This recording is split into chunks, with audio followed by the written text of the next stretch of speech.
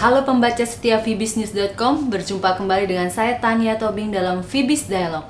Pada kesempatan kali ini kita akan berbincang-bincang mengenai minat investor asing, khususnya investor asal Korea Selatan untuk berinvestasi di Indonesia pada tahun 2012 ini. Bersama kami telah hadir narasumber Direktur Lepnida Bapak Fajar Ari Dewanto. Apa kabar Pak? Baik, dan juga seorang pengusaha asal Korea Selatan, Mr. Choi. Apa kabar Bapak? Baik, terima Ya. kasih. Baiklah, kita langsung saja mulai perbincangan kita kali ini. ya eh, Mr. Choi, Ya. terima kasih untuk kehadirannya di studio vibisnews.com. Sama-sama Pak.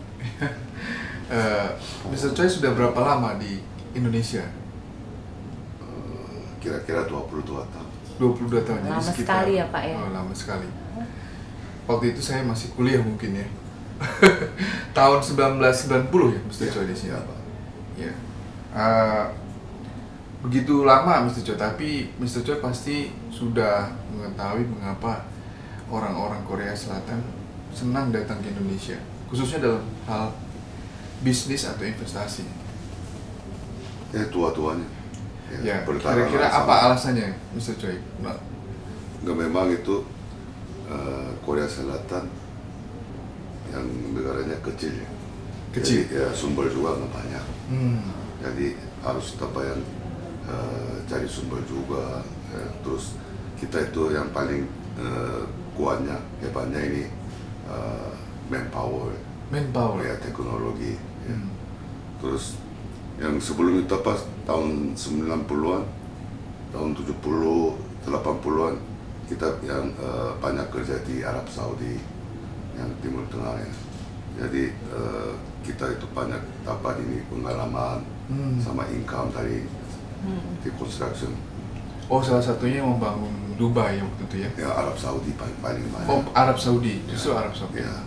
Tahun 80, 8 sampai 83 ya di Arab Saudi yang tenaga Koreanya 150 ribu. Hmm, banyak sekali. Banyak sekali. Dan tahun 1990 Korea Selatan itu masuk dalam investasi apa di Indonesia? Yang pertama itu yang banyak kan garment sama sepatu. Garment dan sepatu.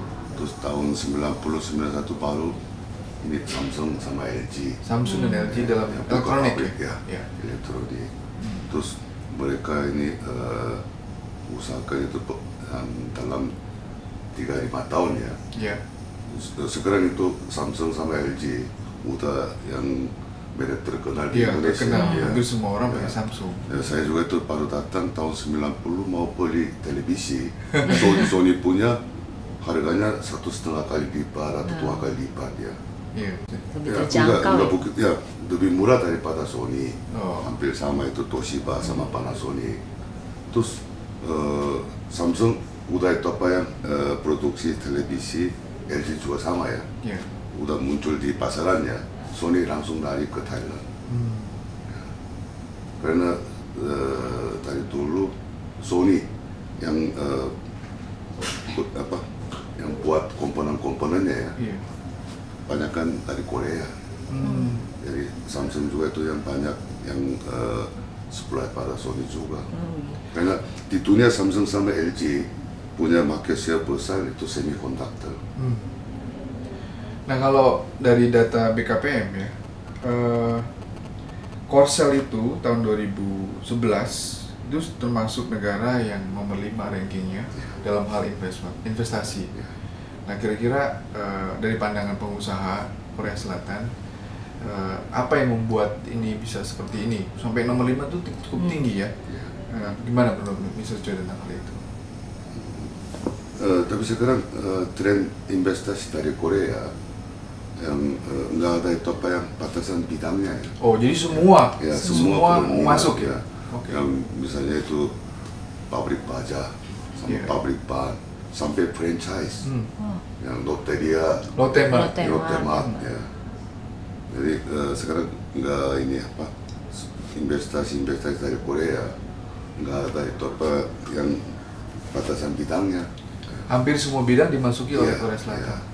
Jadi termasuk eh, heavy industry menurut Iya. ya. Eh, heavy industry juga banyak terus apa pertambangan Hmm. sama agrobisnis itu yang minyak- Agro juga masuk. yes, Hmm. minyak sawit Oh, minyak Jadi benar-benar luar biasa nih Pak. ya. Ya. Kalau heavy industry itu apa contohnya? Heavy industry itu Korea eh, pabrik baja, pabrik ya, baja. kerjasama dengan Krakatau Steel di Cilegon, Hmm. terus sama itu pabrik ban. Ya, Pabrik baja ini berapa besarnya? pabrik baja eh, kalau udah jadi eh, yang pabrik Iya. kapasitasnya tiga kali lipat dari existing Krakatau Dari Steel. existing Krakatau Steel Wah, luar Luar biasa. biasa. Jadi akan menjadi pabrik baja terbesar di Indonesia kalau gitu. Ya, tapi nanti itu mungkin eh, lebih besar lagi. Ya, s- Krakatau Steel juga itu sangat semangat. Iya iya iya Hmm. betul. Kira-kira itu bisa menyerap berapa tenaga kerja Iya. kalau pabrik itu jadi? Saya rasa mungkin lima ribuan lebih. Lima ribu lebih. Ya. Hmm. Oke, Mr. Choi. Ya, karena bukan itu yang hanya pabrik baja itu. Kalau pabrik udah mau bangun pabrik baja, yang berikutnya itu apa? Harus beberapa itu hampir puluhan pabrik ya. Hmm. Supply bata itu Oh, yang eh, Oh, jadi yang sub-sub ya, pabriknya ya, ya? Consumable. Terus ada hampir itu 100 lebih pa- eh, pabriknya ya. Oke, gunakan itu produksi dari pabrik baja. Hmm. Jadi Cilegon sendiri, kota sendiri mungkin nanti udah jadi apa, kota besar Ya. khusus industri. Industri. Apalagi kalau dibangun jembatan Selat Sunda itu ya? Ya, enggak enggak begitu mengaruh, cuman itu eh, kalau jembatan Sunda itu banyak kan ini konkret sama ini baja yang berat ya. Oh, tapi artinya industri bisa Ya, mas- ya, mengarah ke Sumatera ya. kan? Nah, eh, menurut Mr. Choi untuk tahun 2012 ya, Ya. gimana prospeknya para para investor Korea Selatan ke Indonesia? ya. Tadi kan hampir di semua area akan masuk gitu. Ya. Tapi kalau dari target BKPM sebesar 284 triliun, Ya. itu kira-kira eh, berapa persen kira-kira orang Korea akan ambil? saya saya nggak berani jawab. Tapi Bocoran ya, Pak gitu. enggak, eh, mulai dari bulan Februari tahun kemarin Iya. eh, udah itu apa mulai apa ini eh, kooperasi ekonomi kooperasi eh, between antara itu Indonesia, Indonesia dan Korea, Korea. ya terus udah itu yang buat task force team Hmm. jadi tahun kemarin udah empat kali sidang Oh, bikin task force. Iya, task Oh, force. terus itu pemerintah Korea udah itu apa yang eh, buat kantoran di di dalam apa Papenas ya Bapenas. Oh, jadi ikut dalam perencanaan Ya, nasional. terus eh, tahun ini juga itu eh, bulan ini atau bulan depan ya ada sidang juga di sini. Hmm. Ya, jadi khusus, khusus apa eh, ekonomi cooperation ya. Oh. Ya, jadi ini asal dari tahun tu, eh, 2010 Desember yang Presiden Indonesia ketemu Presiden Korea di Iya, Bali. Iya, Iya. betul betul. Hmm. Terus eh, tahun kemarin juga itu apa yang muda ini eh, kita Korea eh, hampir itu kontrak ya ini eh, buat kapal selam Oh, kapal selam. ya Pembangunan kapal selam, pembuatan di, kapal ya, selam. di kalangan kapal Korea Hmm. Untuk Indonesia. Indonesia, Indonesia. Ya, angkatan laut ya. Angkatan Wah, luar biasa. Ya. Baik, Mr. Choi. Nah, Indonesia ini sekarang dikenal sebagai eh, negara yang pertumbuhannya bagus di tengah-tengah yang lain eh, boleh dibilang menghadapi masalah. Indonesia menurut ADB itu 6,5 persen tumbuhnya, Iya. bahkan akan bertumbuh juga 6,7 persen menurut HSBC. Juga GDP per kapita Indonesia itu sekitar 3.500 US dollar. Nah ini suatu kemajuan buat kita.